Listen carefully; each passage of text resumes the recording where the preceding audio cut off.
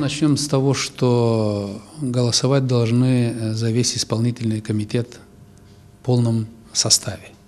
Поэтому я от своего намерения обжаловать это решение не отступаю, и будет подготовлено исковое заявление в суд.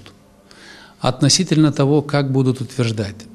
Если кого-то из членов исполнительного комитета Гагаузии, которых я предлагаю на утверждение, кандидатура не будет утверждена в Народном собрании Гагаузии по тому регламенту, что сегодня действует, я хочу видеть аргументы – то есть не просто так, что вот нам не понравился этот человек, а почему вы мне, как главе Гагаузии, советуете этого человека поменять? То есть у вас должна быть аргументация. Или он плохо работал, или не справлялся с обязанностями, или его личные качества администратора вас не устраивает. То есть я должен видеть э, аргументацию, почему я должен поменять того человека или иного.